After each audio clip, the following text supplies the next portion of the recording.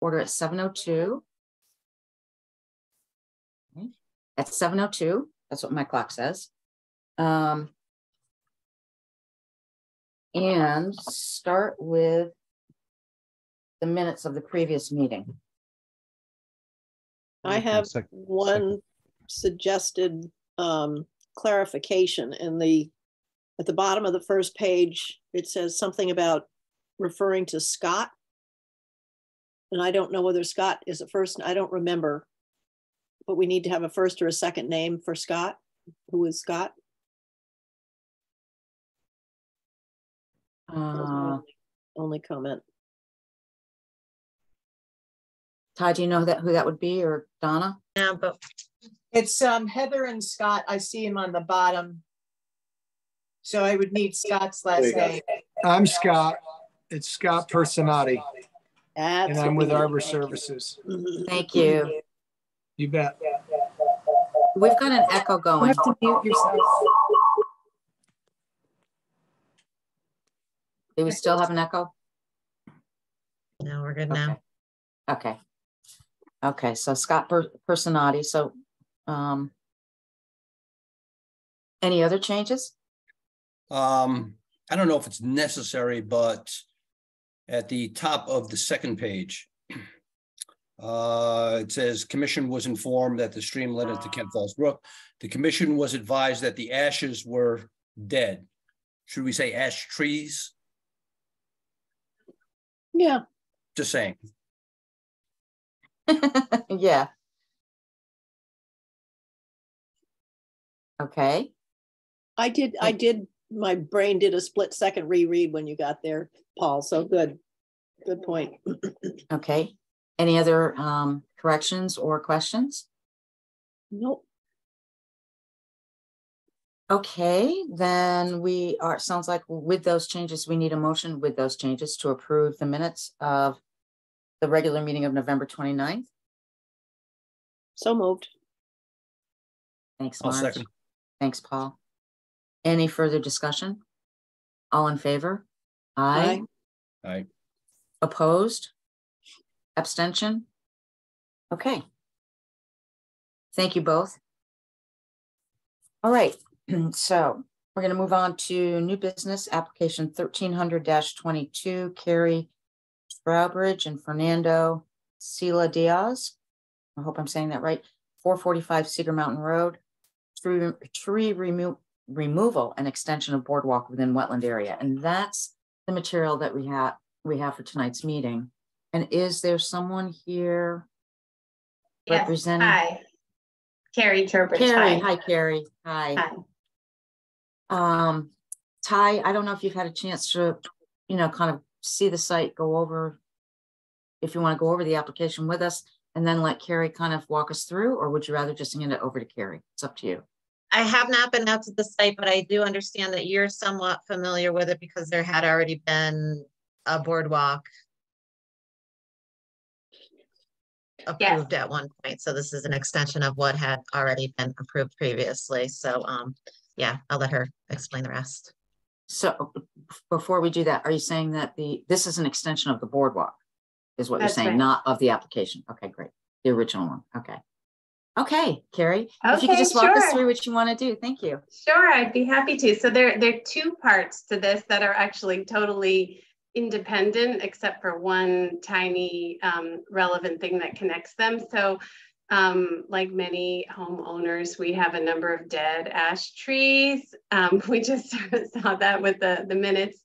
Um, and we have one very, very tall tree that is right, it's about, I don't know, five or six or seven feet from the um, just within the 200 foot mark in our property. So it's just barely in the regulated area. And I put a picture of it in the materials. You can see it's the very long, the very tall tree there. Um, and we had some concerns about it. I mean, we could obviously let it just fall by itself. Um, but uh, if we do this boardwalk extension, which we'd like to do, um, then it's kind of dangerous if somebody's building that or there somebody's on it. Um, and in general, it just makes us nervous to have such a tall tree just falling kind of wildly on the property. At one point, I was actually worried that it could hit our house if it falls backwards, but the arborist said that based on a splitting that just recently happened in the trunk, he doesn't think it could fall towards the house. So I guess that's not a concern anymore. But at any rate, it is definitely dying, almost dead, susceptible for removal. So I think the question is really just what's the best process for doing that? Um, and similarly, and there's another ash tree, I didn't even realize this, but there's another dead one right in a pair with it. And similarly, um, on the side of the boardwalk we already have, there's another dead ash tree with another smaller ash pair to it. Um, and that one definitely poses a risk to anybody on the boardwalk or and the boardwalk itself. Um, so what we did was we talked with Emmons Tree and Landscaping Services. They've done a number of uh, tree removals in non-regulated areas on our property about the best way to remove these trees. And I had actually talked to them a while back and they had told me, you know, they're very aware of the, the rules around regulated areas. And they said, well, we certainly could never do this unless number one, you get approval. And number two, we know that it has to be in a winter-ish month where it's the ground is hard. So I didn't submit an application. And then I think time went by and many months went by. And when I realized it was time to do it, they said that their quote was kind of you know, outdated. So Sean came back just last week and everything is very current now. He submitted a new quote and we went over by phone the method that they've used to remove the trees. Um, and I, I think the only points I just wanted to clarify are that number one, previous owners of the property had a, there's kind of a path that leads down to the lake, um, just a, a, path, a clearing in the woods, a small narrow path. Um, and that still exists, even though we don't really use it. And for one of the tree pairs, he was going to access the tree from that path. And I just walked the property on Sunday, and there's a pretty clear area to get through to. It's not like there's tons of woods that you have to get through. Um, and I might even be able to share my screen and show you photos if you if you want to see the access. Um, and then the other point is just that that big tall tree is very, very close to the regulated area. So they're not, it's not like, again, it's not like they're getting into the woods and doing all this stuff in the middle of the woods. It's right by where the lawn ends. So that's the first part. I don't know if you want to talk, talk about, you know, ask questions before I move on to the other part. So the, the tree that's in our, the picture of the tree that's in our application is the first one that's very kind of on the edge of the regulated area. There should be two pictures. That's right. That's the first okay. picture. Mm -hmm. Okay. The second picture is the other two trees you're talking about. Oh, wait, you know, I don't know. I know the order of the PDF I sent. In the PDF I sent, the first tree that's shown, which has a little piece of the boardwalk in it, that mm -hmm. picture, that's mm -hmm. the one that's deeper into the regulated area, but would be accessed by this path that already exists. And then and the deep second, into how deep how in? Deep, yeah. Um, let me think. Um, I would say that one is more than 50 feet in, maybe closer to 75 feet in, something along. It's like you have to walk down the boardwalk a good way to reach it. Maybe, yeah, I would say it's maybe between 50 and 75 feet into the regulated area. So how far from our property? Mm-hmm. Okay, so it's so it's like 125 feet back from something like that. Yeah, okay. yeah. Neither neither of these is really at the lake edge. Okay. And then my only other question: um, Is this really steep here or relatively flat? Um. So in both cases, so I would say that the you know there's a it's there's more of a slope than you would think um, we are always surprised how how steep the slope is because you can't really tell when you're looking at the lake from the house right i would say I, I don't know my grades except for what I read on the road with the truck signs. Um, it's, it's definitely not a nine percent grade, but it, you know it, it's it's it's definitely a slope. It's not totally flat. I'm not Okay. sure. And that might have influenced where he thought it would fall or not fall. Yeah, I think you can see the slope in that first picture of the tree. Yeah, Yeah, But you it's can not- see, yeah, it's not really, it's hard to tell. Even looking on, yeah, it- that's why I'm asking actually. There's no topography on the site map, which, so Ty, do we you need to want make me to see if I can share my screen to show you some other pictures I took? Cause I mean, hang on one not, second. it's Ty, not, we need, okay, I'm it's sorry, not Carrie. steep, steep. It's not, okay, oops, let me see. hang on one second, Carrie. Okay. Ty, uh, do you have any um topo maps of this area or in the future, we kind of need to get topography onto the site map? It's one of the required elements of the plan. The reason I'm asking is because that picture does look really steep. I- I'm not saying that that's a reason not to approve this. I'm just saying maybe we need to make sure that we're taking care. I mean, are they gonna, are they gonna walk down the path? Are they gonna drive down the path? Are they gonna hand cut the whole thing as you described? Oh, oh, No. so no, I should um clarify what their plan is. And it's not steep like um I mean, it's easy to walk it. And maybe if I can share a screen, I can show you some other pictures that show it's not as steep as I think it looks in the photograph. Um it's just like kind of a, you know, an incline. But no, their plan is to use ropes to safely lower the trees. That's their plan. And in both cases, there's actually a good access point, which is nice. It's not like right near the lake. It's not like deep in the woods. In in both cases, they can really quite easily access the tree.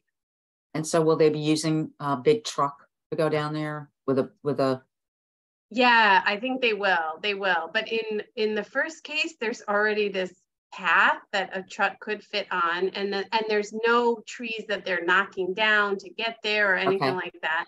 And then in the Okay. second case, they the lawn ends right before, so the thing they're going to be mucking up is our lawn. okay, All right, I've got a question. I'm reading uh um. Emmons Tree and Landscaping, uh, their quote.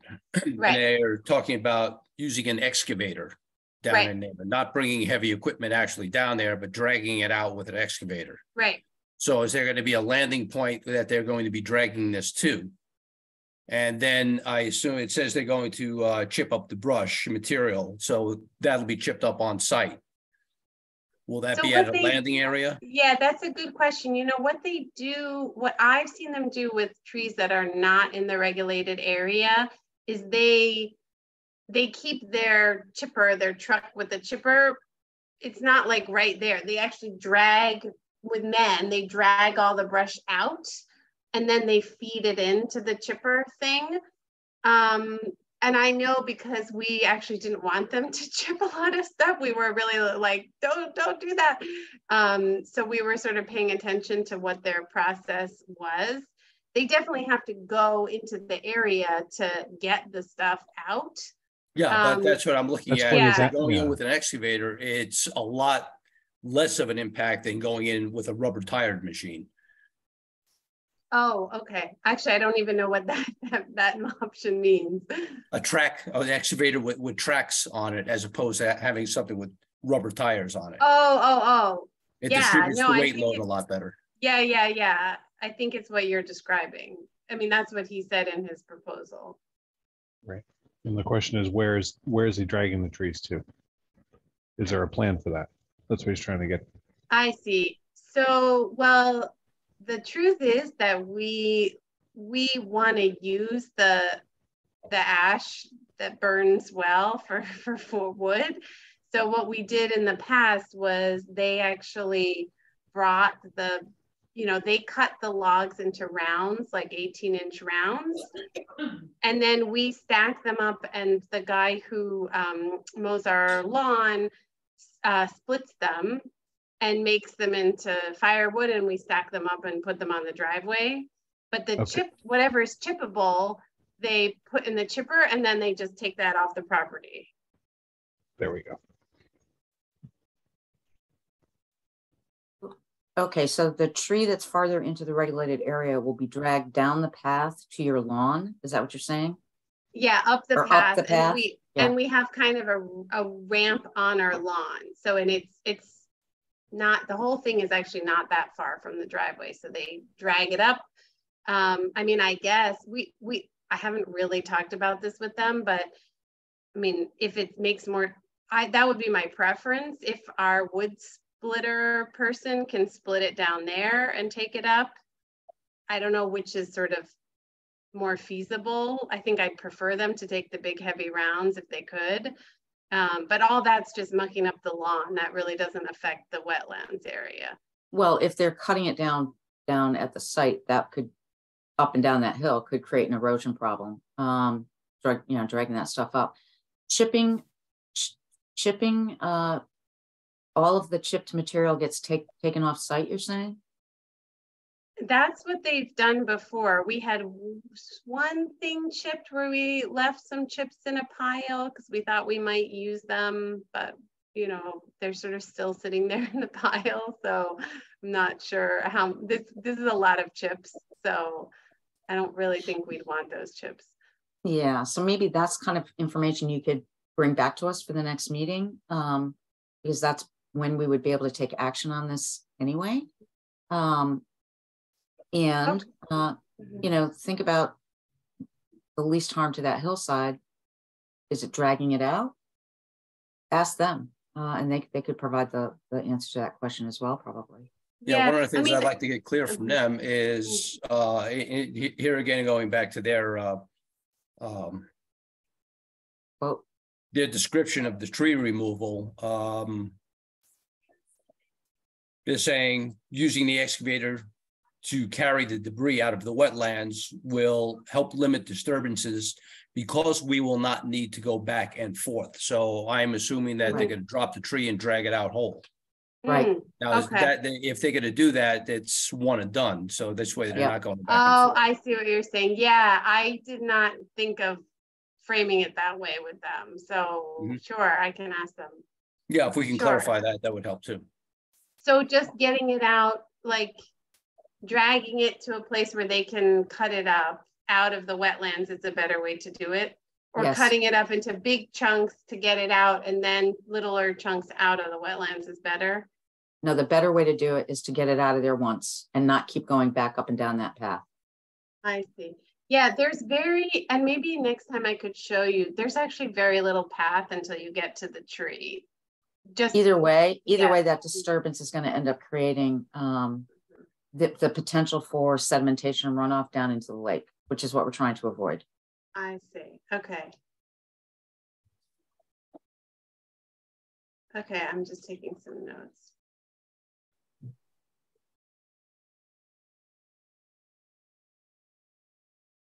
Okay, So that was part one. okay, Part so that was part part two. one. So part, part two is just that, um, we, so we built this boardwalk, um, after getting approval from all of you. And we love it. It's amazing. It's so wonderful to walk down there and you know a lot of people don't like wetlands because they you know we love it we love the the way it looks and feels and all the sounds and so we really like being down there and when our deck and the existing deck when we got the house we realized it was basically rotting in certain places and we uh, replaced it this summer we didn't want to just get rid of those boards. Um, and we had the idea of having a sort of offshoot to the boardwalk that would allow you when you to it's almost like like when you go to to see public wetlands and you go walk along a boardwalk that allows you to look at them that's the idea so it's kind of a it's not to access the lake it's a it's a boardwalk that goes along inside, set a little bit in from the shoreline that allows you to just sort of walk along there and experience it in a different way. So what we're proposing is to use the exact same method that you already approved, which worked out very well. Um, I mean, we like how it works and it looks nice and everything's just been fine with it. Use the exact same method to do this offshoot using uh, the boards that we salvaged. and then if we need to, also adding some other boards of, you know, natural wood. We don't really know how much from this giant pile that we saved from the deck. We don't really know how much is gonna, how far it's gonna take us. So it looks like on the map that you're actually now going into the wetland, but the wetland boundary ends before the boardwalk. The wetland boundary that is showing up on this map ends and the boardwalk continues. And I, I can't tell if you're actually going in the wetland. Your existing boardwalk does not go into the wetland per se. Oh, I see what you're saying. Yeah, we wouldn't be, um, I see what you're saying. I don't think that we would be going in, um, hmm. I don't really know what that, you mean where, where it shows those near the edge of the water, where it shows the, um, this sort of green triangle symbols? That's what you mean? I'm looking at the wetland symbol, which is kind of like a little line with a bunch of lines sticking sticking up, little tufts, if you will. Yeah, the tufts. Yeah. Yeah, this would be, um, yeah. Well, our existing boardwalk does cross through that because it accesses the water, right? Got so it. it, it just, it goes all the way through it to the edge, but you're right that it's just a tiny little sliver that gives you access to the water. And what we're doing would not be in that area. It would be before you get to that area because frankly, we wouldn't, I don't think we could even put a boardwalk there if we wanted to, certainly not with this method. To do a boardwalk there, you'd have to do some like really, you know, you have to drill and stuff. It would not be easy because it's actually very, very wet there. Yeah. Um, so you're actually hanging a left before you get there. Yeah, you're hanging, it's, the whole thing is a hanging a left from the existing boardwalk and then going along and you will see that you get, yeah, you get, we mostly are gonna cross this clearing. Um, Okay. and I don't know how far we'll get. But the wetland boundary, Mhm. does it just stop like that? It, it may, it may, right? Well, Um, it's woods there, it's woods there, yeah. Okay, all right. So you're saying you're skirting the edge of the wetland, you're not going into it. Mm-hmm. that's right. You have an idea of how many feet you're adding on, how long it is? So um, my husband, I, I asked him to try to do that measurement and he said it was a maximum 160 feet. Um, we could get out there with our measuring. We have one of these big long measuring things um, and, and try to do a better run for you, but that's roughly what we're talking about. Yeah, we, we really need to know how wide, how long, um, and how far away from the edge of the wetland. Ty, I think it would be worthwhile for you to take a, take a look at this because it does get kind of close to the wetland there and they are, they're talking about cement, the same system, the cement posts, right? The cement Yeah. footers, I should say. Yep, the exact, exact same way that it That it was first time. Was previously installed. Yeah. So maybe I mean, just if- verifying the froze for a location of the wetlands. Yeah. Would be helpful. And when we get the revised map with the topo, if maybe they could be corrected to not show this boardwalk running all the way out into the wetland. Yeah. Well, the existing one does go into the wetland a little bit. Okay, it's labeled as proposed boardwalk. I'm sorry. I think So it's this just the is- old map. Yeah, Yeah, this this is the is- map that we used. This Oh, is the oh, I'm map sorry. that I'm sorry. I understand now. I, I, I understand. Yep. Sorry, Well, it's I- not this proposal, it's the old proposal. I think as long as we're updating the map, Let's the map correct ought to say that the, the existing boardwalk rather than proposed. Proposed. Yeah. Okay, yeah, we just didn't know if we had to hire um a surveyor and You can, all you that can just white out the proposed and write in Okay, existing Okay, and, and okay, put a date, a handwritten okay. date on the map. Okay. but are, are you asking for topo this time as well? Just for clarifications, she has to have somebody go out there and do that for her as well. Or she can use a site map on an existing topography map, which is what we've done often. so Okay. that we can at least locate where these trees are on this slope. Mhm. Um, and, you know, how far away, what the, what the slope is, and also as you get down where they're putting in this boardwalk, is it gonna be cut into a hill? Is it fairly level? I don't, I can't tell from, No, it's, you know, we can't tell. pretty level. It's not that, it's so we just need to show that. so- We just need to show that. We just the need it on paper for the file. Right. Right. And again, a site visit could also help verify that. And Right. sorry, is So, that uh, something, um, maybe Taya could follow up with you? Are you there, Carrie? Carrie, did you hear that? I, I'm, I'm gonna try to log in, call in. It's not working. Um, my phone, sorry. Let me try to zoom in. Okay. shoot. You're coming through clear. Yeah, you are now. Ty did nod yes, that she Working could uh, now. It's, come and see, she could schedule a visit with you. Okay. I was trying to call, one second. I was gonna try to call in on my phone because I was having trouble here. Um, yeah, a site visit, that would be great. Oh, there you are, Carrie. Sorry. You're coming in. Okay, any Okay, other I'll- questions? I'll reach out to you, Carrie, and, and we'll arrange a site visit and then we'll talk about what has to be added to the map. Okay, any other As questions? it's, and it's not super expensive. A lot of this can just be um drawn in up to scale. Um Yeah, we're not requiring that you go out and get another survey or anything like that.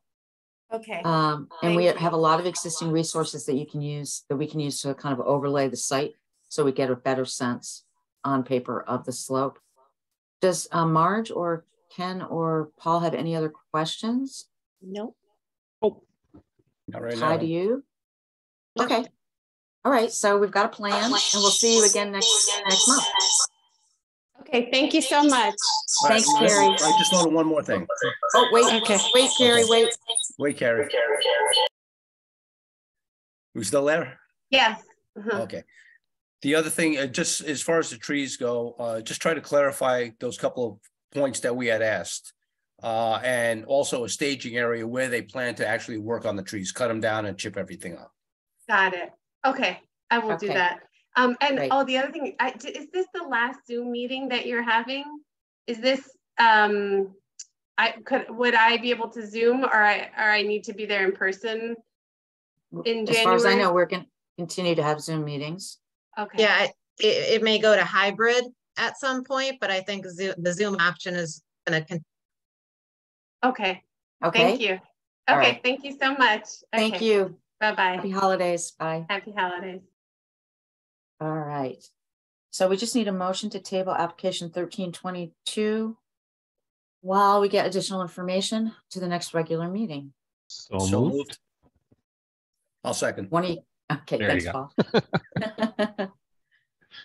Any further discussion? No. All in favor? Aye. I, Opposed? Abstention? Okay, great. All right, on to old business, um, application twelve ninety-eight twenty-two Arbor Services for Phil Croissant. Um, oh, yes, this was the conversation, yes. And we, I see you provided the additional information. Um, do you, let's see, Bill is here. Hi, do you want to? And Scott is here. Do you want to add anything or just kind of say anything else? Oops, you're on mute. Yes, so we've made the modifications to the map as you had requested. Uh, we changed it a little bit. Jocelyn was able to, it looks like bigger areas, but actually what she did was she just circled the, the crowns of the trees now. And it's all explained, the measurements, everything is in this, in her new map. Yep, that and looks then- great. Yeah, she did a really nice job with it. We're Yeah. pleased with it. And then over um on the Brook side, we also, or she also indicated the yellow as the hay wattles to just show uh the line along the brook there. That's great.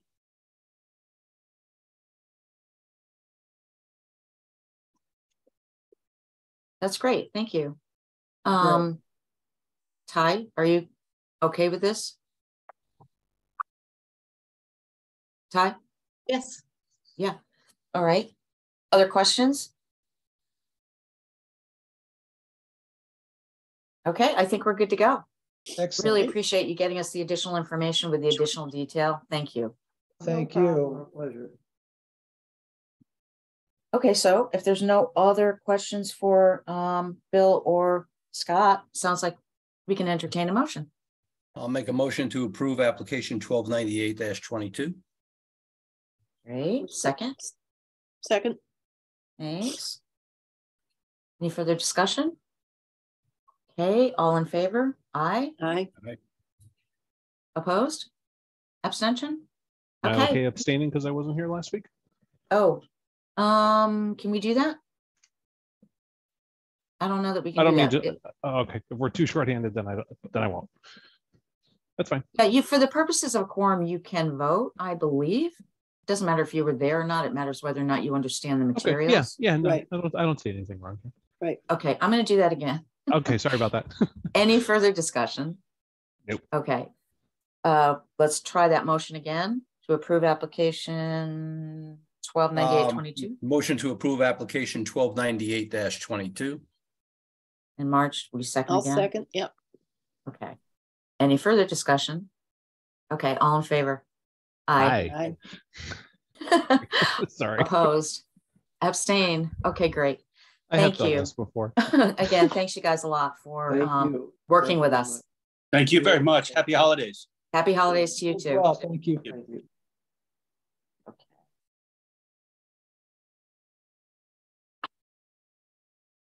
Okay, application 1299-22, Ashley and Ryan Williams. Pond dredging.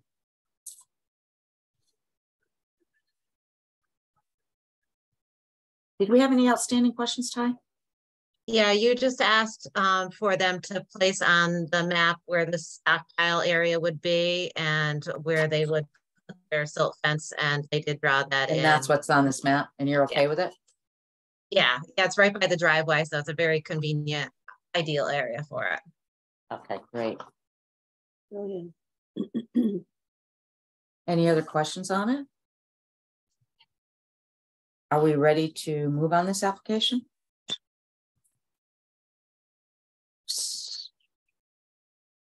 If so, we could. We could take a motion. I'll make a motion to approve application 1299-22 with the um additional information on the map.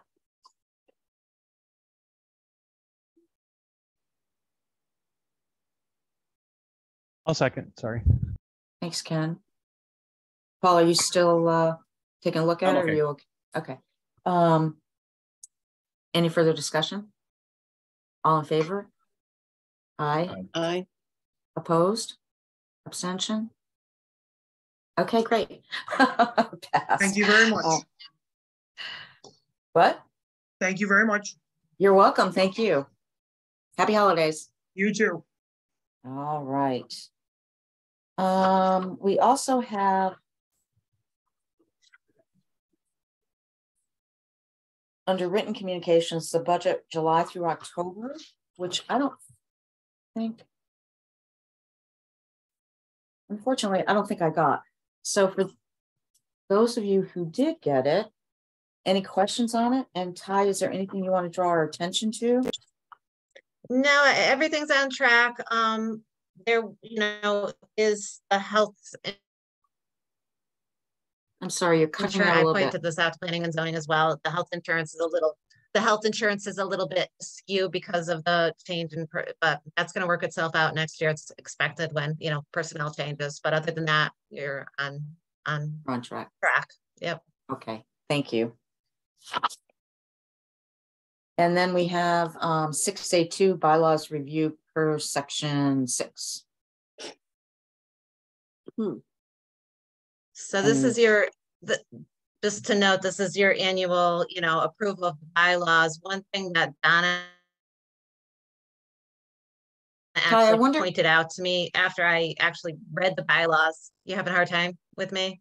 You're just me? going in and out. I wonder if you just turn off your video from, if that would help? that any better? Maybe? Keep going. We'll see. All right, so um, I just wanted to point out that you did your election of officers and after reading the bylaws, I noticed that you didn't elect the secretary, but Donna did point out that last year you chose not to. So I don't know if that's something you want to adjust in your by- Hmm. bylaws to not have a secretary because it does actually require that you have one. So um, I just wanted to point that out. It's totally up to you what you want to do. Well, you know, I, I was reading through that uh, a little while ago as well, and I, I, I, I noticed that it says that we should have a secretary, but the duties of the secretary are pretty much done by Donna. Correct. Right. So do we Maybe need we should change it to designated may have, maybe we should change the word to may have a secretary. Because there are times, there have been times when we haven't had a clerk. And I'm trying to remember who our um wonderful wetland commissioner was, but he took the Eric. minutes.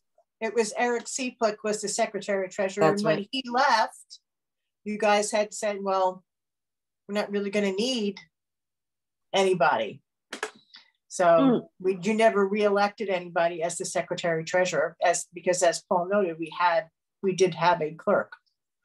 Yeah, And if we didn't have a clerk, the question becomes, would the land use administrator, in this case Ty, be willing to do what you did, Donna, which was um you Yeah. know, I absolutely Yeah. would. It's, it's not a problem at all for me. Because I don't remember, before Eric, I don't remember a secretary actively keeping records, uh, keeping the minutes before. I think it was just a nominal thing. Yeah, and he only, he he only did it because I it- it remember him feels like he did it for a short notes. amount of time. I'm sorry, Yeah, what? Eric did. I, I- he actually took notes because we weren't, at that Yeah. time, we were not recording. Right, but I was just saying Right. whoever what whoever was the secretary before Eric, I don't think did. I don't think they did the minutes. I think Eric's the only one I remember doing it, that's Right. right. And I believe he did it for a short period of time, not the just entire time. he- because we didn't have enough. Yeah, okay. Yeah, because I think, I know that even when I was working for Jennifer as the land use clerk, I never did minutes for wetlands. So I never had anything to do with wetlands until I became the land use administrator.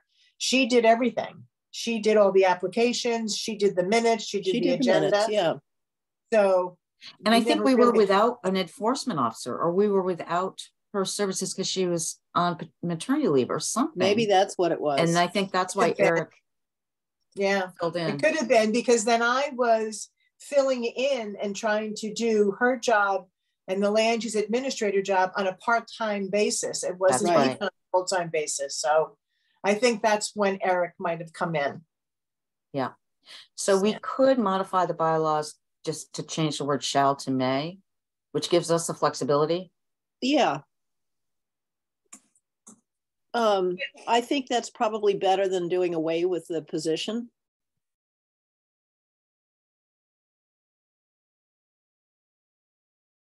Ty, what do you think? Yep, that, that makes sense.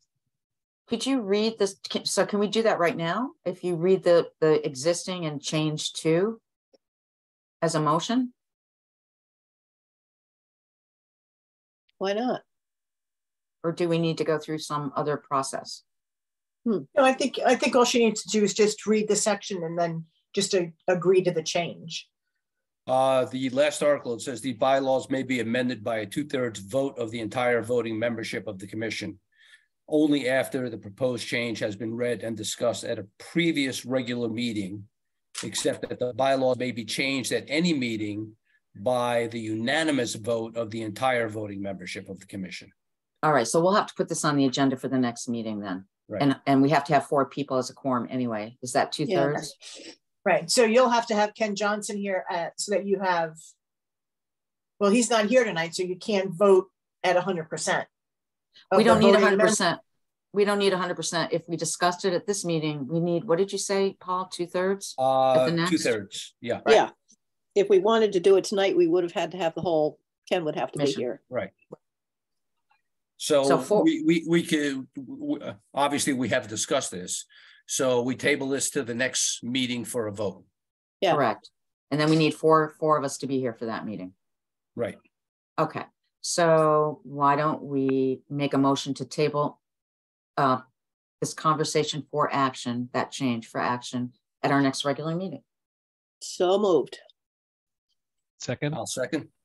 Thank you. Any further discussion? All in favor? Aye. Aye. Aye. Aye. Opposed? Abstention? Great. All right, one, one other thing on that subject. There, there's many references to the chairman. Yeah, Chairman, It's it's okay. okay, I mean, it doesn't, most, you know, it's an interesting question.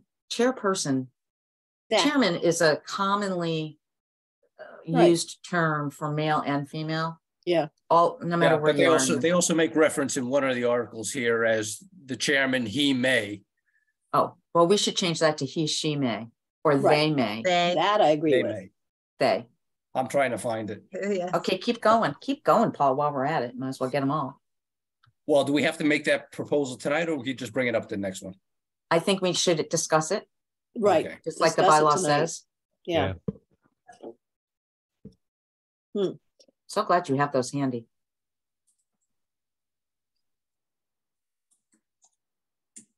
Well, maybe anywhere where there's a reference to he uh, in the chairman position should be called they.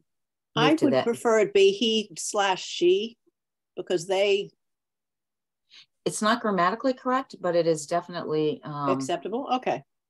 well, it's, it's the term of the day in terms of. Well, now, wait a minute. Here is on section four, vice chairman shall act for the chairman in his slash her absence. He slash she shall be a member of the commission. Mhm. We can make it consistent with that. Right. I just noticed that after having said what I just said, so, The, the only reason I raise the word they is that there's a large movement afoot to not force a gender recognition, he, she. yeah, but I think this is a different situation. It's, well, maybe not. I, I, It's up to you. I mean, I'm, I'm just raising it. Well, I don't since we've already got the he slash she in there, I think we should make that consistent. And then if it ever comes up, um, yeah, because here Yeah, it that is makes in. Article ten, section three, it says him slash her. Uh, Okay. so So I, we sh- I just make it We should go through and consistent make those throughout. changes. Make those changes consistent, he, she, him, Yep. her, depending on the tense, the whatever. Grammar. And you want it it, is. and you'd like to keep chairman, chairman, not Yeah, chair. Okay. I'll- Well- I'll make those changes and have it ready for the next meeting.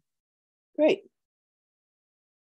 I mean, it's up to you guys. I, uh, to me, the word chairman and chair are interchangeable. Do you think we should get, drop the man? piece of No, I don't, well, I mean, the selectmen, we've got the board, uh, Jean is first selectman. Yeah, we're, here, we're, we're making an issue out of not, nothing. No one's raising a problem. Right. So Right.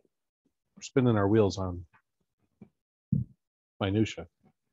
I think we just. Well, if we're gonna one change the bylaws, we might as well have the discussion right now about whether or not we're gonna change it. That's all. Well, and I and do don't see care. in Article ten, section five uses the word chair, whereas all the other parts of that article say chairman. So I think just getting the whole, the bylaws in sync, the, the different sections, using chairman, using he, he slash she or him slash her, whatever grammatically is needed in the sentence, Okay, what I would propose. I don't have a problem with it either way. Nope, I don't have any problem with any of it. So Anything else you see there, Paul, that we ought to talk No, about?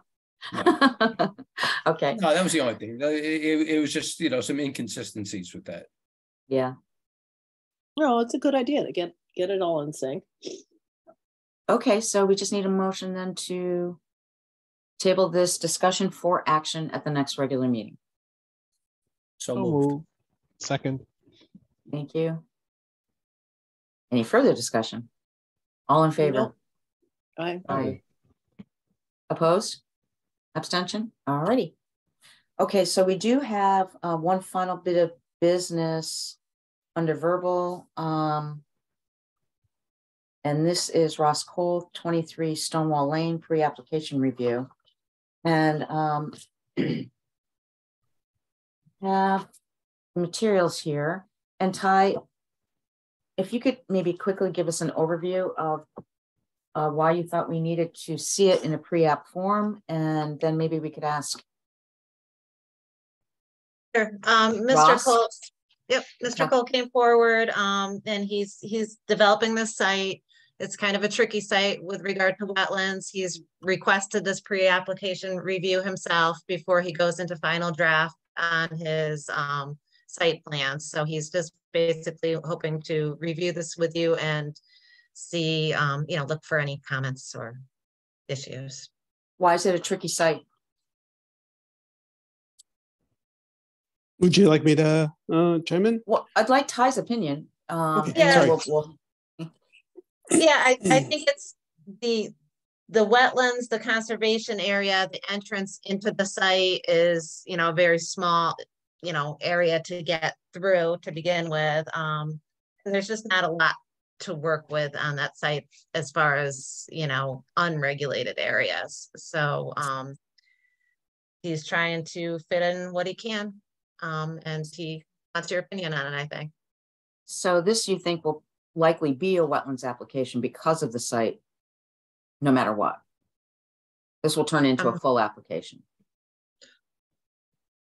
Yes, absolutely. Okay, thanks. Okay, Ross. Why don't you walk Okay. us through what you want to do? Sure. Uh, so right now, um, we are uh, in, we have an agreement to uh, purchase the site. And so what we're doing is trying to do our due diligence to understand what challenges we might have. And uh, as Ty was just uh, referencing, the site is divided up into two areas that has a brook that runs uh, between those two areas. It's shown on the the drawings that were submitted to you.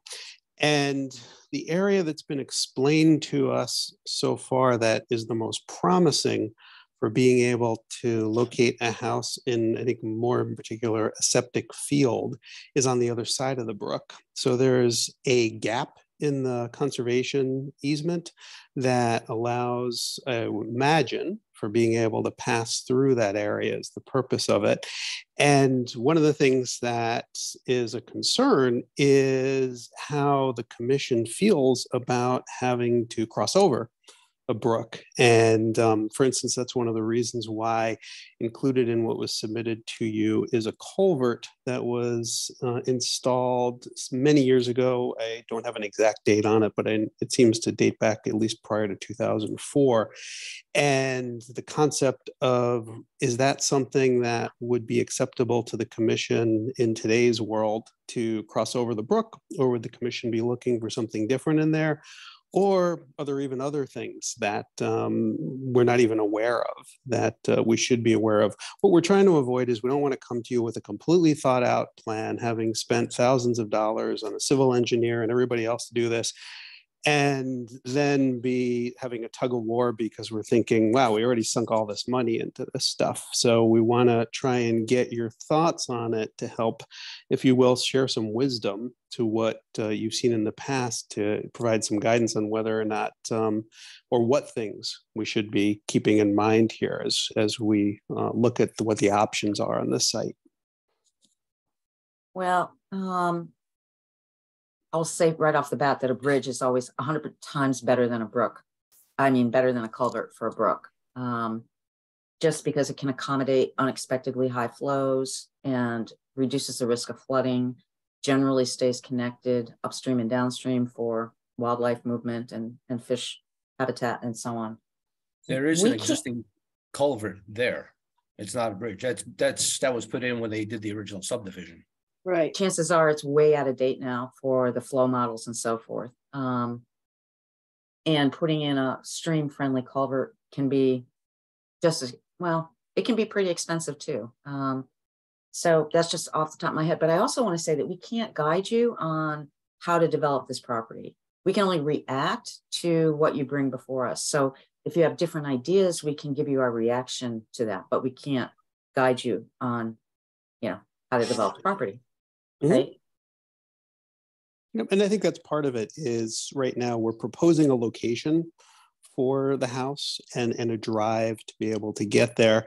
And, and a big question in my mind, uh, and by the way, I'm an architect. Uh, most of my work is in the healthcare field. This is something that I'd be building for myself.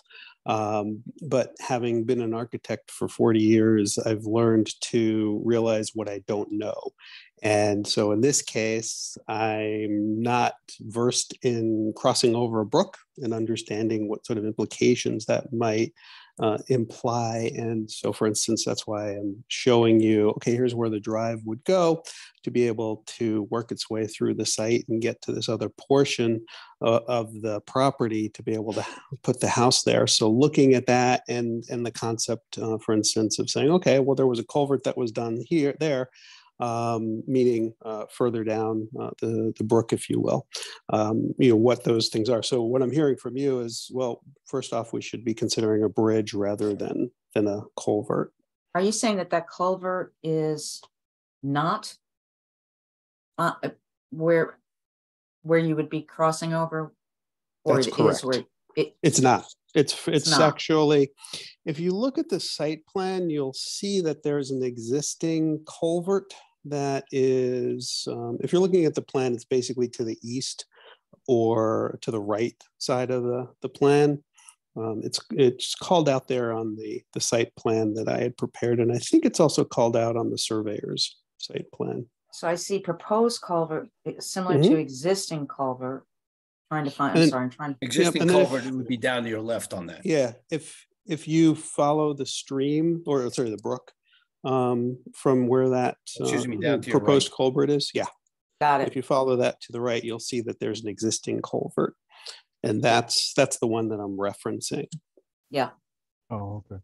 And again, I would say in today's world, generally speaking, we try to avoid culverts. Um, fish-friendly, brook-friendly culverts can be as expensive um, as a bridge, and generally speaking, can require more maintenance over time than a bridge um, in terms of maintaining the flow of the stream.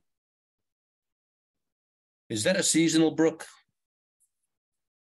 I'd call it intermittent. Um, I've been I've walked the property a few times now, and there's been sometimes when water's been flowing in it, and sometimes when it's been dry. But it's got a scoured river bottom, right? Stream bottom, looks like. I'm not sure what the word scoured means, so I'm It's got a to- defined channel, a defined channel. I'd say just barely. If that makes any sense, you know, meaning it kind of comes down into a V shape. Um, but Yeah. you know, that that V shape starts higher up um, on both sides of uh, where the brook is. You know, the brook itself is maybe two or three feet wide. It's pretty easy to Mhm. get across to, you know, meaning to walk across it if that helps. Mhm. Yeah, And Other issues we usually run into are around septic systems and, you know, inconsistencies on the map. I'm, I'm looking at your two hundred foot setback and your one hundred foot setback, and they're not parallel to one another. And that, your map might not be, the reason they're not parallel, just to interject, is one, as I was understanding the regulations, one is 200 feet back from open water, in this case, the brook. Uh, the other is 100 feet back from area that would be wetland soils. So that's the reason why they're not parallel, is because it's trying to look at both of them and figure out, okay, which one is is the more extensive uh, area that we need to be keep in mind. So, you know, the way I look at it is with those two pieces, it's the 200 foot marker in, in any given location that is the one that we need to adhere to. What I, what I want to avoid is I don't want to propose something and then um, find out that we, we've got a problem. An example I'll use is there's another house in the neighborhood where I was listening to one of the recordings, and it was pretty clear to me that while the commission was approving a, a primary house that was to be built, one of the things that the commission was debating in that meeting was some future structures. And it was pretty clear that there was a lot of reservation about those future structures. And I don't want to find myself in that same kind of situation by having had all this engineering done and then come back or come to you and um, find out that, well, some of these things that, that I had spent all this time designing and, and um, uh, having engineers work with me on, that it's kind of a non-starter from you, for you in terms of that second part, if that makes any sense to you. How come the brook is not fully drawn on this map? Or if it is, it- I'm having a hard time seeing it. It, it's because it's intermittent. I think what happens is depending on when you're there, it's easy to follow versus not. So if it's flowing, you can kind of see where that water flows. But if it's not flowing, there's some areas where it gets flat and it's just, it's hard to pinpoint where the edge of that brook is. That's probably the reason why it's shown that way on there. Meaning from when the surveyors were out there to, to survey. And there's no historical information on, on existing water, on topo maps or anything like that. I don't want to speak for the, the civil engineer, uh, in this case, uh, Gary Hawk. I know he did reference to me that he looked at some of the old maps. So uh, I got to believe that he, he put his best foot forward in trying to document that for me, because I did explain to him that I was going to share this with you to try and get your, um, your observations on what sort of things um, could be problematic on, So on the uh, the reason I'm asking is because I'm trying to get, a- I'm sorry, trying to get a sense of that 200 foot setback and what it's following to have defined itself that way. Well, if you um looking at the site plan, there is a line. So the brook seems to kind of peter out, but then there's a line that he's showing that is appears to be the general major uh, flow of water uh, through there whenever the brook. that. I see the brook just kind of going away. Yeah. And then it goes away, and then there, there's a it goes from a double line that says brook to a single line. So And that And that- that single line goes away too. It does, but what I did was I just made an assumption in terms of the 200 foot setback that I'm showing you on my drawing that just has a, a rough approximation on it. So that part of it seems pretty clear to me, which is, you know, if there's a brook, I need to be 200 feet back from it. Um, it's really more, okay, what happens when a driveway has to go through that area that has a 200 foot setback to it? um, you know, and and and the bridge. You know, the bridge is a structure. So how does that factor into these things in terms of how the commission looks at it? So that's why really a Well, lot I'm, this I'm is, actually, I'm looking at the house and the house being fully within the two hundred foot setback and mostly within the hundred foot. Is that right? I want to make sure I'm looking at this correctly. So my eye went to look for the brook and I couldn't Mm-hmm. find it. So I was trying to figure out where you got that two hundred foot line. Um, that was just one, one question. And I'm assuming the hundred foot is from the actual flagged wetland boundary, right?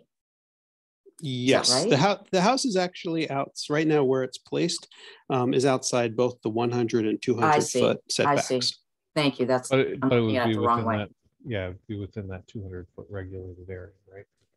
Uh, That's no, I I don't. I don't think so. It's right now the house is set back 200 feet from the brook. but it's, really my my concern is how how it is crossing through that whole 200 foot zone so you have 200 foot to the left 200 feet to the right so you have 400 feet that you have to navigate through and no, it's really, it's a regulated area, which means Mhm. that we look at the activity that's happening within that area and we try to minimize any impact to the wetland from it, or see if we can move the, the activity outside of the regulated area, ideally. Mhm. Um, the fact that you want, that's the only place apparently that you can cross the brook presents a whole nother separate issue. What's the best way to cross that brook to minimize impact to the brook? And to the future of what will happen to that brook as rain increases, right? So they're kind of two separate things. I'm really confused, and I don't know. I'm having I'm having a hard time with the way this what the. Is anybody else having a hard time with the way the setback is drawn? Because I'm looking at a hundred foot wetland setback. I see a flagged wetland line that ends. You're looking Is for that a a two flagged hundred, you're looking, line? you're looking for a two hundred foot regulated zone, right? No, I'm tr- well, I'm trying to figure out where the, I'm trying to figure out how the two hundred foot line was drawn and how the one hundred foot wetland setback was drawn.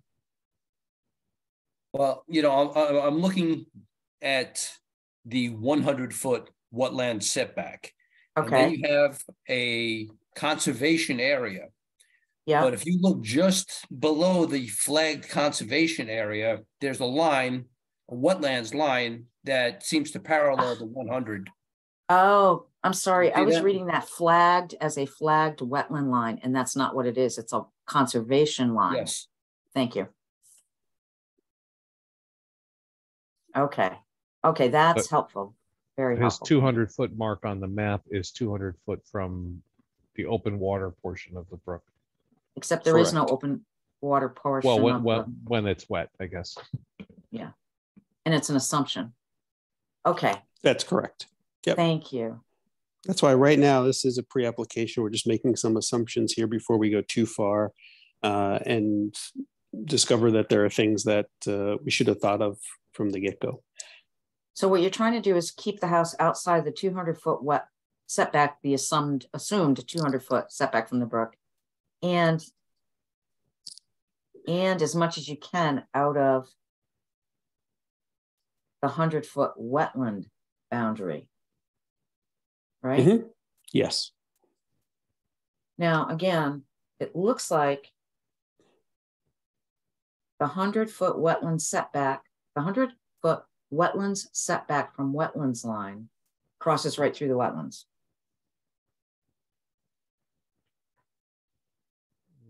No, that's the twelve eighty contour. Okay, Yeah. so where, where is the hundred foot wetland setback If you zoom, map? if you, oh, you're looking at a paper map. I am, that's right. Yeah, yeah. When you zoom in on the PDF, you can see a distinction between the contour line and oh. the, and the setback Oh, line. That's the why I'm printer- confused. Yeah, the printer probably, did- here, let me share my screen. It might be Okay, that'd be that way. great, thank you.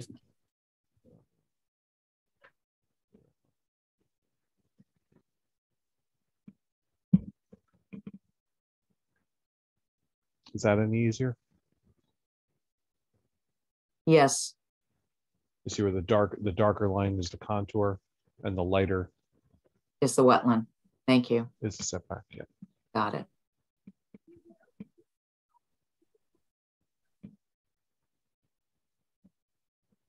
Okay, Yeah, so really the crux of the concern was we've got this whole conservation easement with this very narrow gap and just wasn't sure what the um, the opinion of the commission would be in terms of being able to get from the street to where the house would be placed. That was, you know, that was the the key thing that I was hoping to get a read on before we we go too far with uh, trying to figure out what this thing looks like and where it might be placed. so the wetland itself isn't, it, it extends from one conservation area into the other. So you're crossing a wetland and the stream? Yes. This this solid line denotes the wetland barrier, I'm, uh, the way I'm reading it. Yeah. Yes, that's correct. And the brook is kind of in the, in between. Okay, got it. How, what's the distance from one of the, the width of that wetland strip? You mean from one, literally the two parallel lines that define that gap? The, no, not the conservation easement lines, the wetland. What, Oh, the wetland area itself, just from edge to edge? yeah, Um, it's right in that probably- crossing. Yeah, it's, it's not very That's- far. I- I'd Yeah, I don't- I say don't see a it's, it's maybe thirty or forty feet. Basically, to, to give you a sense of proportion on it, the, the, the opening, if you will, between the two conservation easement areas is about thirty-five feet. Okay, Yeah, exactly. That area where you just had your cursor going back and forth, sort of from Yeah, I upper was, I left was to trying lower to pan right. around and see if I had a, a marking for a relative uh, scale legend, but it, it says one sixty-fourth inch, but Yeah. as I'm zooming in and out, that doesn't do, do us any. No. Yeah, right. exactly. Yeah, but basically it's about thirty-five feet wide in there. And so just then interpolating Yep. um, that, that bridge that you, or not that bridge, but that area that you'd have to traverse of wetlands is, you know, let's say it's 30, 35 feet. Uh, going from uh, Stone uh, Stonewall Lane to where the house would be located if we located it there. And so again, I guess the question is, you know, what's gonna have the least amount of impact on the wetland, a bridge or a culvert. Or And another Mhm. location. Yeah. Yeah, Mhm. and is there another location? You got Well, what, This I- zone over here yeah. for some reason. So maybe there's a reason why you can't build there, but it's not evident on this map. So. that's that's what we've been trying to dig into. What, what I was told by some of the folks who who were basically um, pitching or selling this to me is that um, the best chance for being able to find an acceptable area to build the house is on that area in the upper right of the plan. Um, so I don't know why that would preclude the area that's in the lower left that you were just circling, but that's why we've we started by focusing on that. And then uh, again, coming back to why we're here this evening is to say, okay, well, that's all great and wonderful, but we got a, a brook that we got to cross, and what kind of landmines might there be in regard to that? So you've Well, pointed out also the- one. Yeah, you got the brook, but you've also got the digging up of a wetland. I mean, which is Mhm. pretty much a no-no.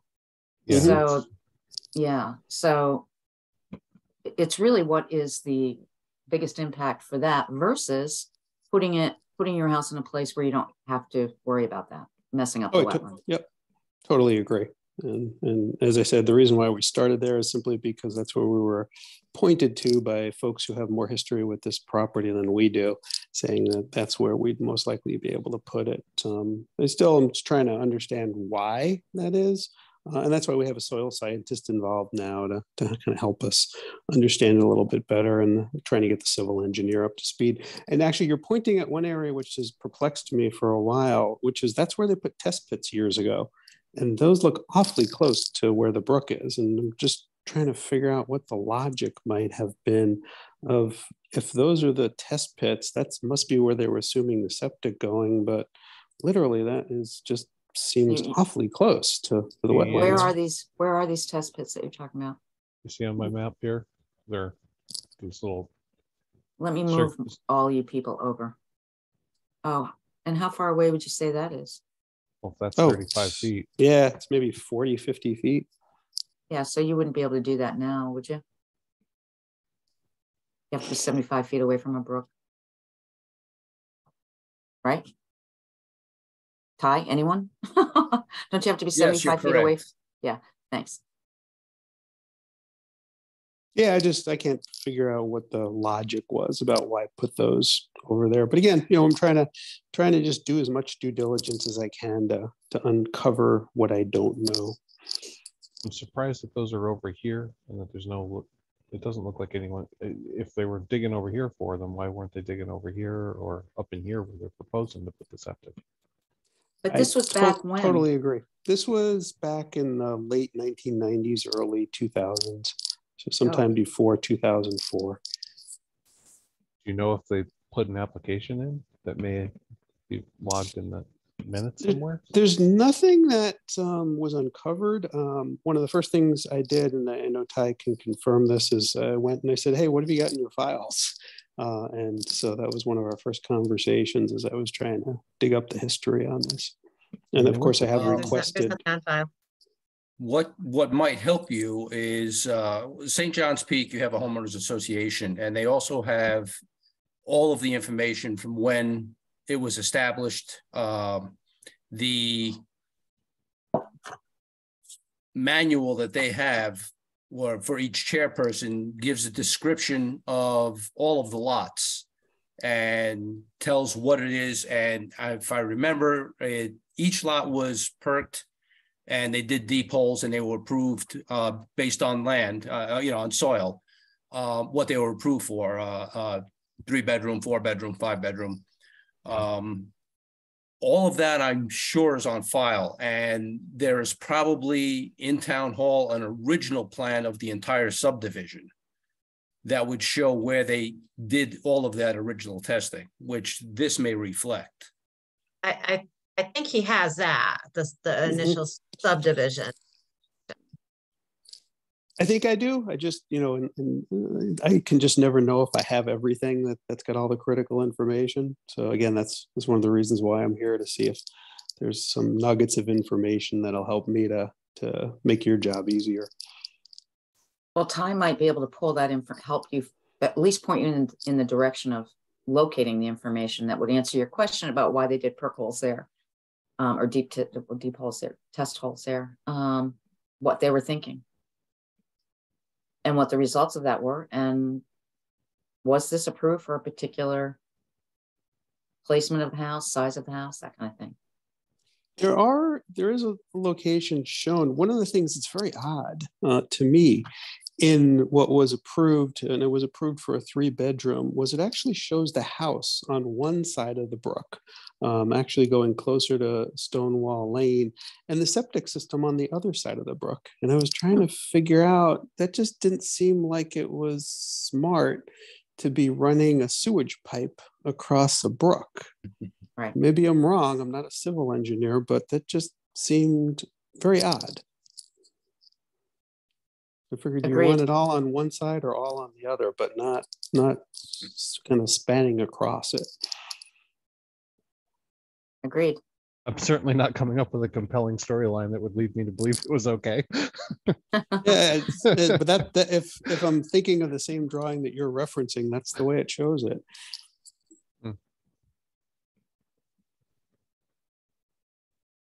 So, but at least you know, right now, at least that you've given me some guidance on what we need to be thinking about if we are going to cross the brook. Um, some guidance on going back and saying, "Hey, well, what's wrong with this lower left portion over here?" Because nobody seems to be aware of anything that suggests that it's problematic. I realize the ledge might be shallow over there in terms of the soil above it, but I'm also hunching that we could do something with like a septic mound over I was there. going to say, I think it's a little easier to build a retaining wall and bring in some dirt than it is to build a bridge, but Yeah, yeah.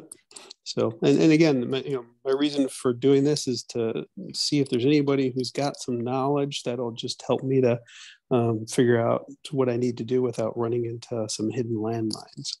Hmm. So really nothing more than that. Yeah.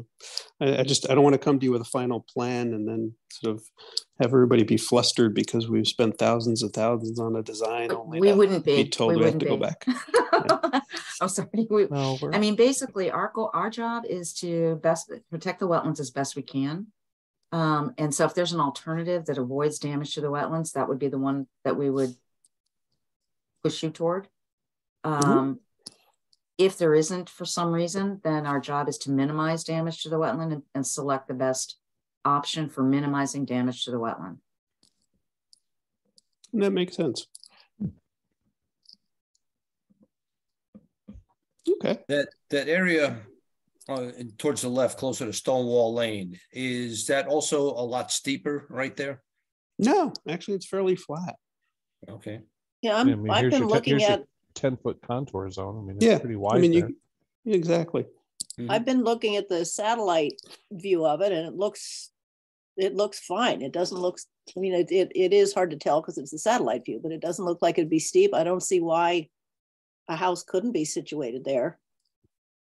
It'd be interesting to know why the people who told you to cross the brook felt that that's better. Yeah, likewise. That's part of why I'm here. Well, Yeah, and but I mean, what, what, what were their reasons? What was their justification for that? Uh, well, they were saying that the ledge was was really um, shallow, to use their words. Um, Okay. On on that area around where the cul-de-sac is.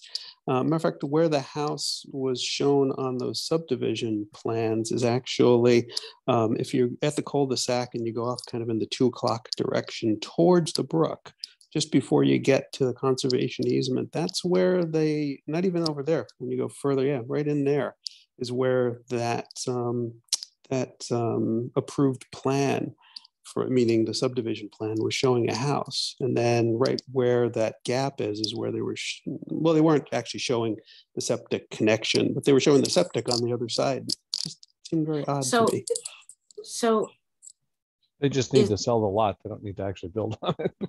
I Well, guess so. Uh, you, you said it was an approved subdivision plan. Is that, does that mean that that house lot itself was part of that approval, Ty?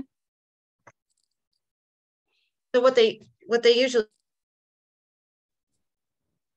they do is Uh-oh. just like a con- conceptual, you know, and then somebody has to come back later with an actual site plan. So there is no current site plan approval, if that's what your question was. Yeah, okay. Okay. So theoretically, a house could go legally, it, it could go anywhere on this lot where, where the applicant can make it work. Right, I mean, I'm, I'm curious if maybe a lot has to do with the septic and they couldn't achieve a septic in the front and that's why it's on the other side and hmm. I don't know, maybe they did think it was better to put it over on the other Septic te- technologies have come a long way side and since build a bridge and cross and just to, cro- I don't, I don't, I don't. I was just gonna say that septic technology has come a long way. They could do an awful lot more with a lot less. Right. That's my understanding That as could well. be it too. Yeah. I think that'd be the thing to investigate. What's the, what's the status of the ledge and what, what are the septic options on a shallower ledge?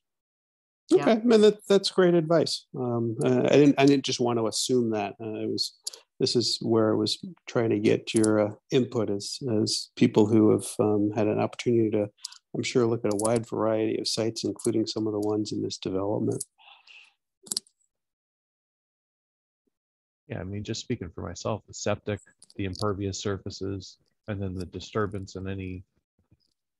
Not, not so, not even so much the disturbance, the, the residual di- impervious surface, surfaces that you're creating. Are gonna be my biggest concern on, on something like this. You know, those are the Mhm. things that are gonna contribute to the runoff down into that area.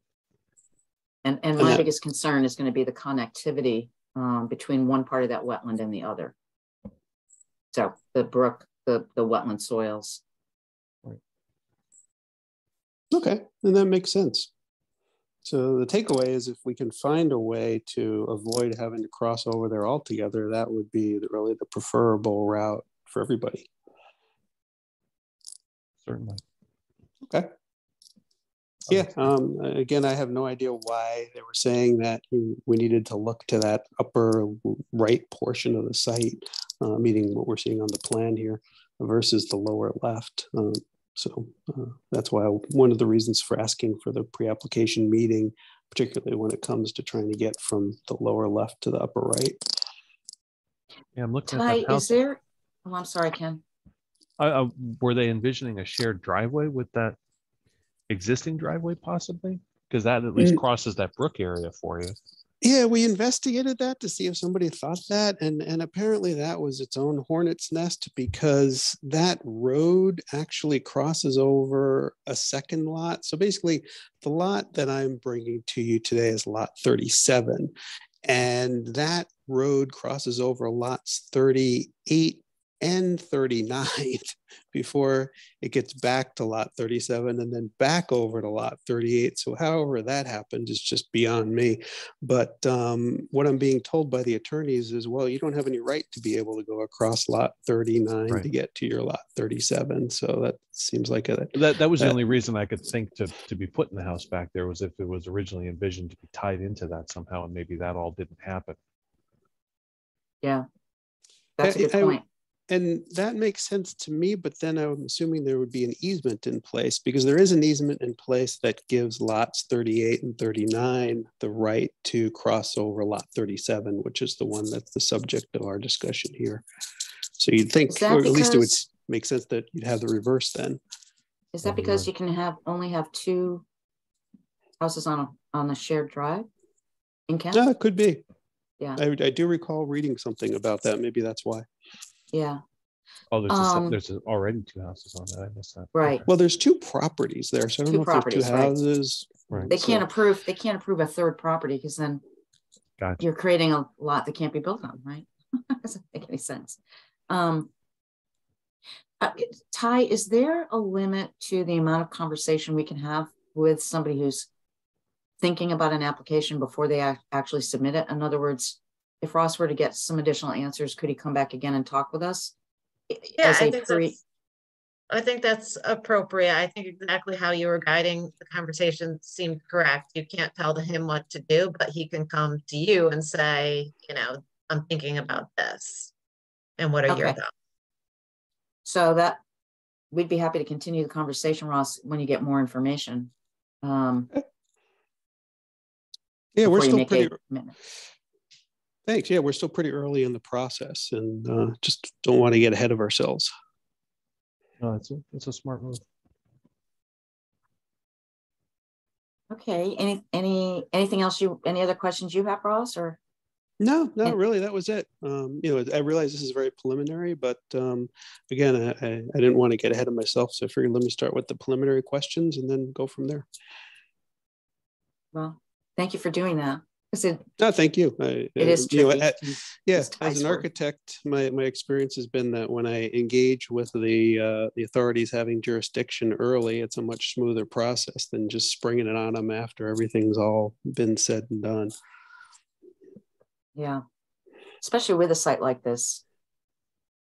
Any other Yep. questions from Marge or Ken or um, Paul?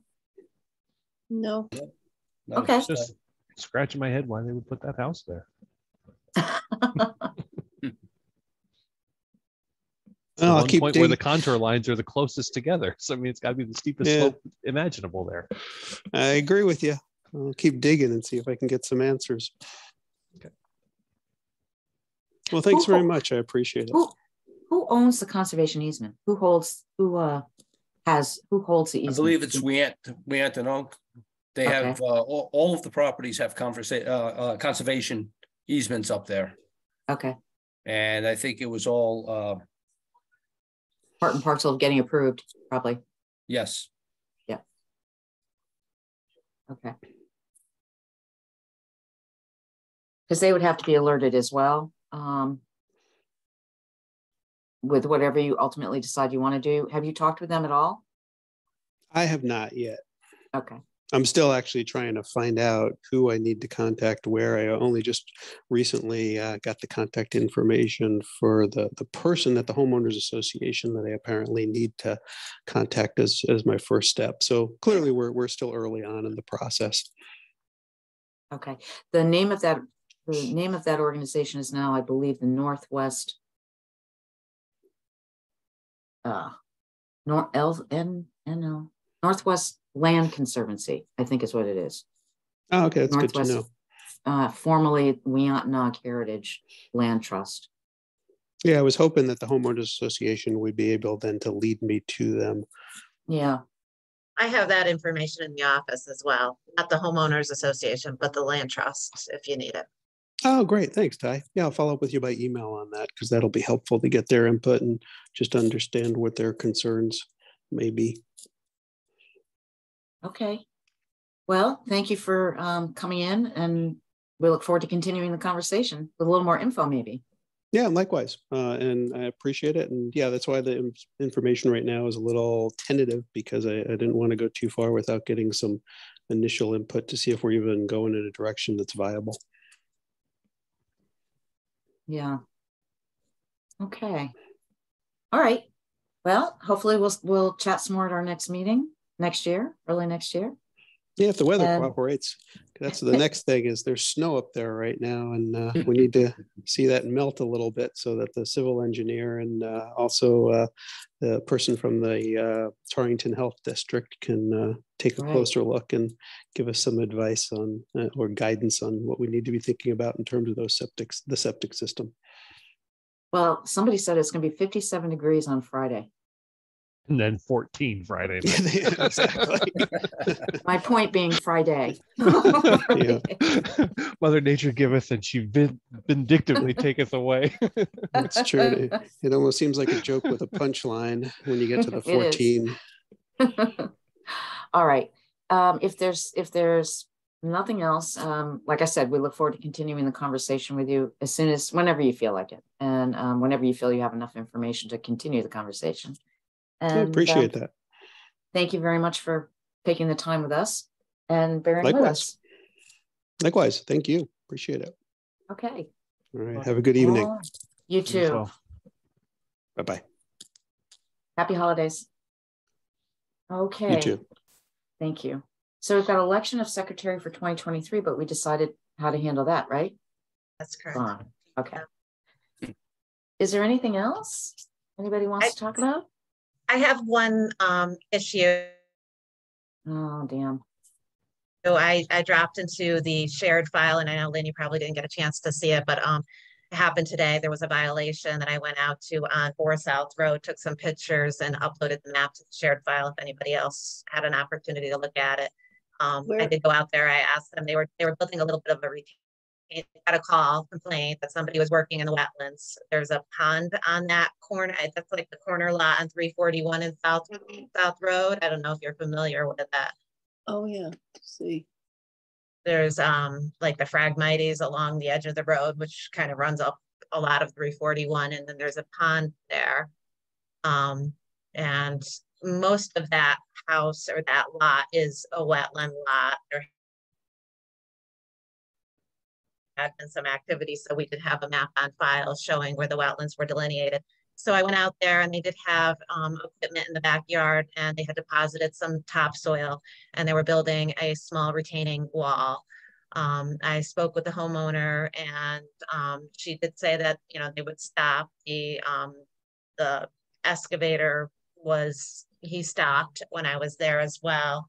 Um, and I told them to, you know, get an application in. I gave them the application, um, and put up some silt fence or hay bales and kind of protect the area. um, on my way home this evening. They finished the work. Um, and I didn't see any silt fencing at all. So yeah, Ah. I mean, it's not a huge, it's not a huge job, um, but it's still nonetheless, I mean, actually the person who called to complain about it is somebody who does this similar type of work and said, you know, hey, we have to get permits. Why aren't they getting permits? So, I mean, he was absolutely. So rather than stopping the job, they finished the job. Yes, they said they were going to stop, but you know, I, this was like eleven o'clock, by four o'clock when I was, you know, heading back up the job, it, and again, it's not a huge job that they were doing, but nonetheless, they were, should have gotten permits. So I'm planning tomorrow to do, you know, a notice of violation and try to get them in for an after the fact permit. Um, I'll send it to, it was Paradise Landscaping that was doing the work. Um, but again, I spoke directly with the homeowner as well, so I just wanted to kind of make you aware of it. And we'll just work through it at this point. If you drive by, you, you'll probably be able to see it. There's lots of, I mean, the, again, I want to stress it's not huge, but I mean, the the equipment in the area did a lot of disturbance of the soils and stuff at this time of year. It's kind of messy. Well, There's no hay down, there's nothing to try to stabilize it. So I'm gonna try to get them to put silt fence up again and kind of re-stabilize the area. yeah, um, do we have penalties on the books now, Donna? Did we ever get through that process? No, we never did. Why No, I not? The only, um, the only way that we can get any kind of finding done now is actually to do an injunction and go to court like we did with the, um, the Schaghticoke Indians. That time, remember, that was something that Jennifer had actually done. I was the one that ended up going to court by the time it came true and then, um, they were fined. But we don't have anything on the books as far as being able to assess fines on a day-to-day basis, which, But we had, we had uh, some drafted up, um, and it needed to go through a town vote or something. And I thought we yeah, it, we we need to be able to agenda. change the, I think what you'd have to do is change the ordinance. Yeah, in we order had to- something drafted for that. I believe that we did, and I don't know, I don't know if we just never pursued it or. We should look in that we file and see if there was a reason. it, I just don't know why. I Yeah, don't we should figure out either. why. We should figure out why and try to move that forward. In the meantime, you're saying there's nothing we can do but an injunction and going to court. Right, Yeah. Well, could we at least file a complaint with the state of Connecticut, uh, the Better Business Bureau for their license? Stating that they, There's Hmm. an idea. Yeah. The Paradise Landscape, you said? Yeah, they were told point blank and they went ahead and did and completed the work anyway. Well, the, the homeowner was told the um operator did not speak English. So he did, he saw me there, he stopped. I mean, when I left, uh, there was every reason to believe that this was done and they were stopping. Um, so I don't know what transpired after that point to make him continue working. It Um, looks. like I I'm- said, I'm I will send out I See them in Hamden, Connecticut, Stratford, Connecticut, Wallingford, Connecticut, Paradise Landscaping. They're not from around here. Can Huh. we uh, take action against the landowner Because that's actually who's responsible, right? Mhm. Yes. Yes. Yeah. Yeah, I, I'll, I'll. I'll send out a notice of violation and I will, to both of them, copy both of them and, and try to get them into compliance and do what they're supposed to do. Well, I mean, they've already finished the application. I Yeah, mean, they've but they already done the work. They'll have Not to do an after the, I mean, they'll have to do an after the fact application. Um, and then, you know, I want them to put up silk fence and s- re-stabilize the area. I mean, I understand that we're supposed to be getting a lot of rain by the end of the week, so. Yeah. I feel like there's some urgency in doing that. But again, I mean, if you drive by, it's not a huge project. But it's the principle. No, it's the But fact that you told them to stop and then they should've come to blatantly ignored it. That's Yeah. right. It's the fact that you told them to stop and they didn't. Right, I agree, ign- yeah, They, they lied to your face and then Oh. kept going. I agree, I agree. Unacceptable. agreed. So the problem is we don't have a lot of um leverage at this point. Is if they come in for an after the fact application, the question we always have to ask ourselves is, is this something we would have approved? The most important thing right now is to get it stabilized immediately. And I wonder, um, can you do a cease and desist if they're not doing something? Yeah, so that, that was the thing that I, I was thinking to myself, doesn't seem like you could or would be, you know, because they're, they're done, so there's nothing to. But they haven't done the stabilization of the site. Okay, I don't, yeah, I don't know the answer to that question. I'm just asking. They're What done with fis- what you, they're done with what you saw them doing. That doesn't mean that they aren't going to do anything more. You might as well file it procedurally just to get it documented. That's a good point, and require Yeah. immediate stabilization of the site. okay. That's a good point. I And then do they would have to come in, they would have to come in and meet with us. And then we can Yeah. talk about an after the fact application. Well, and it has to actually, a cease and desist has to be heard within fifteen days, so you'd have to schedule a, a special meeting for your show cause hearing. What happens if the homeowner ignores the cease and desist? And you have to contact a lawyer. I think we need to do something. I mean, otherwise people will just Yeah.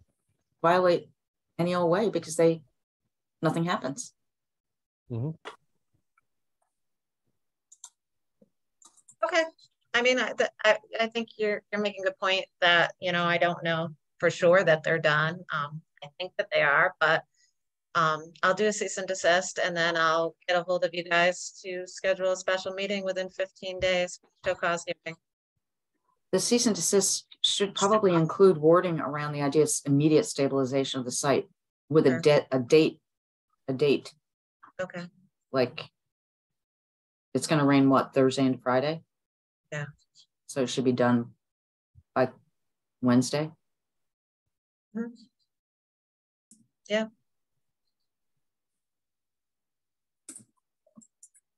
okay. You feel all right about that, Marge and Paul? Yeah, Yeah, I know Ken does. Yeah, but we got, you know, you got to move forward. Yeah. Correctly, well, and per I, I agree that when we have time, guidance we we have. look back into the, the find that we've been considering many years ago. Yeah. Let's dig out that file and figure out what our next steps are and do it, because otherwise uh, we don't really have a lot of, We don't. I- I, I'm shocked that we don't. I didn't realize that we didn't, so. yeah, I thought that we did, actually, I actually thought that we did make that change. But I guess not. Okay. Um. Anything else? No, that's Fun it. times? Okay. Well, I hope everybody has a really nice holiday, get some Yep. chance to relax and Same to you. be safe and happy and healthy and, yeah, all that good stuff. that good stuff. And we can take a motion to adjourn. So moved. Second, Any further discussion? All in favor? Aye. I, Opposed, abstention? Okay, thanks a lot, you guys. happy See holidays, everybody. Happy Yeah. holidays. Bye. thank, you, thank you again. Marge, for uh, referring us to your arborist. Oh, she's gone. Bye, everybody. Happy oh, boy, she- holidays. She jumped. Okay, see you later. Oh, worries. Bye. Take care.